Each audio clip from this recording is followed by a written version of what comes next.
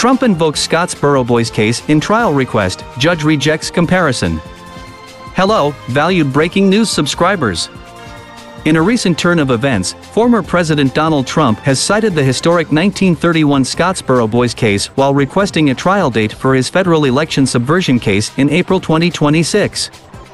Trump's legal team argued that this landmark Supreme Court decision illustrates his need for more time to prepare his defense against charges related to his efforts after the 2020 election.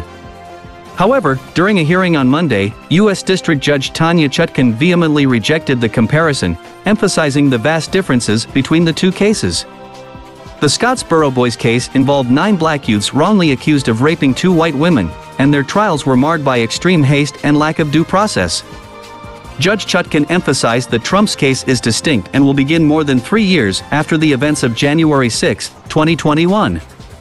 The attempt to draw parallels between the cases received sharp criticism both in and out of the courtroom. Retired California Superior Court Judge LaDoris Hazzard Cordell labeled the comparison as stunningly stupid and alienating, particularly given Judge Chutkan's background.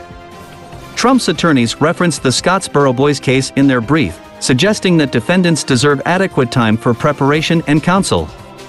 However, Judge Chutkan firmly stated that there's no resemblance between the historic Alabama events and Trump's case.